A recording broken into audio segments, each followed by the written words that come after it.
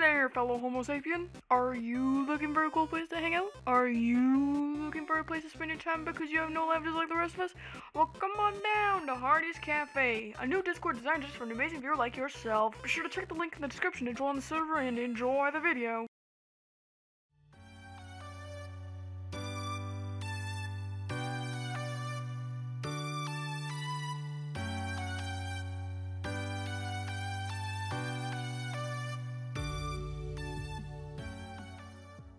Disclaimer, please do not go after anybody mentioned in this video. I'm here to talk about my experience, not start witch hunts. And please be respectful of others in the comments, think before you reply guys. I'd also like to just say that with recent world events going on, if you are in the United States, please stay safe, be cautious when outdoors or in a public area that riots or protesting may be taking place. Stay safe everyone. Be sure to look for the clown emoji, comment the timestamp when you see it, along with something you guys might want me to say, and you may be one of the three people I shout out in my next video. All shoutouts will be at the end of the video, so stay tuned for that. Hey there my fellow Homo sapiens, my name is Harty McSmarty and welcome back to your daily dose of drama video. Okay, so I don't plan on censoring names with this, since I'm pretty sure the person I'm talking about doesn't keep up with my content, and plus there's a few others in it, so it would be hard to keep track of. This story is, as the title says, my experience with a toxic friend. So it wasn't just me who had experiences with this person. During the time this went down, there was about six of us that were mainly involved. My friend group included myself, my boyfriend Teacup,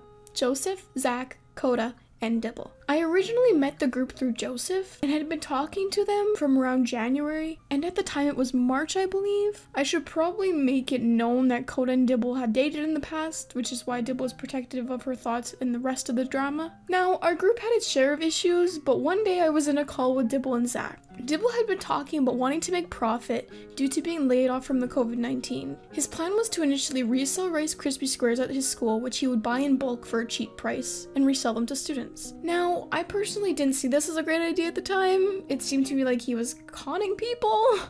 like, I mean, he wanted to sell food he didn't make for a different price. I don't really see that as valid to be honest, but like, whatever, you know? Dibble asked me for my opinion, and I was truthful and told him I didn't see it as a good idea. I personally believe you should create things and make your own money off of that, not something else someone else has done. Then again, I'm a commentary YouTuber who also makes content based off dramas, so... But that's that's not the point, okay?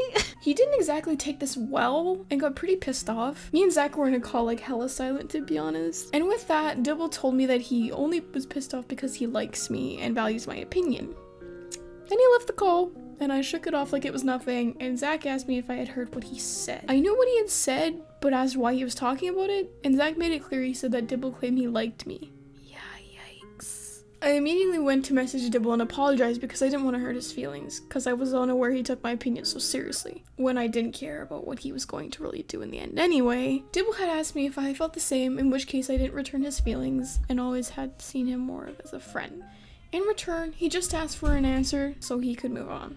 At the time, I, I didn't really give him an answer. I felt like garbage because we had a fight, and then he told me he had feelings for me. Like, well, you can't, you can't do that. And like, okay, the way I reacted wasn't really good either. But like, you know, I was taken by what he had said, so it's like we're not gonna talk about it. Fast forward a while, I had started talking to Teacup, who at the time I hadn't talked to much, and we got closer.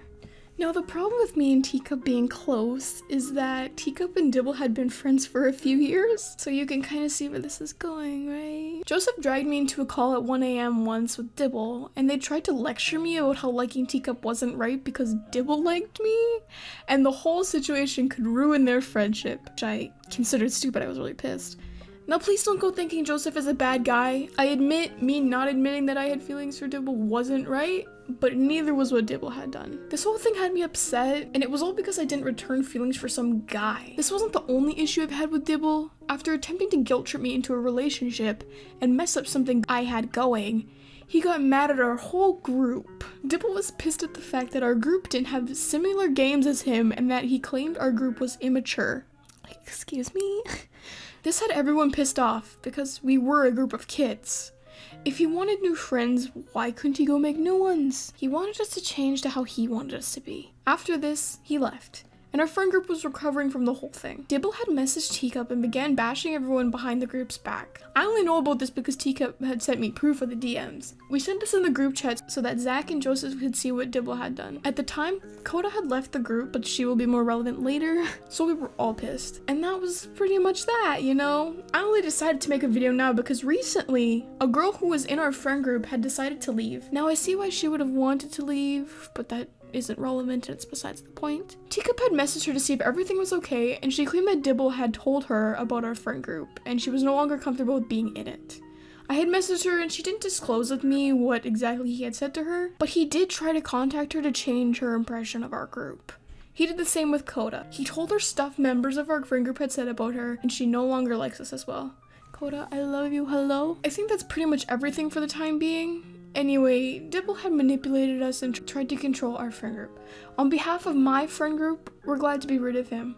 If by chance Dibble you were seeing this, sorry it had to be this way. But with that said, thank you guys for tuning into my experience with a toxic friend. I honestly hope you guys are all safe at home during these times. If you or anyone you know may be experiencing a similar thing like this, please reach out. As always, I'd love to hear what you guys think, so be sure to leave a comment down below. Be sure to join my Discord, which can be found in the description and check out my community tab for updates and to vote on future video topics. If you're up for it, feel free to leave a like on this video and subscribe for more quality content. Now let's do some shoutouts real quick to end off this video. Thank you, Obelsoft, my guy, what's up? Fries at 11.33 and say Leafy has a chin. Leafy has a chin. It's confirmed. Right here, folks, you heard it. Oh no, this name, Ivana Kostviska. I'm so sorry. I found the fries. They're at 11:33 and say, "I'm dank" in your weird voice. I'm dank, uwu. God, I'm, I'm so sorry. Ray Corvus said, "Fries at 11:33. Can you tell my cat Victor, like in my icon, that you think he's handsome? Thank you for being you." Oh, Victor, look at the little guy. Look at the kitty, guys. Look at him. He's a handsome boy. And thank you for being you. I appreciate that. Fan out, short outs time, game short outs, short outs time. okay, let's just do some fan art shout outs, okay? Fan out shout outs go to my girl Sweaty. Thank you, BB. I love this. As always, your work is amazing. Onion Man, I love this art style. Honestly, it's so cute. Thank you. I am Duff. Thank you so much for submitting your fan art. It's beautiful. I love it. Thank you. And Alfredo. Thank you. If you want to submit fan art, you can do so by adding me on Twitter at HartyMcSmarty or submitting it into the fan art channel in my Discord, which can be located under the images category, and my Discord is always in the description of my videos as well. Thanks again for watching guys, I hope you enjoyed it, I love you all so much, talk hard, and I'll see you guys all in the next one.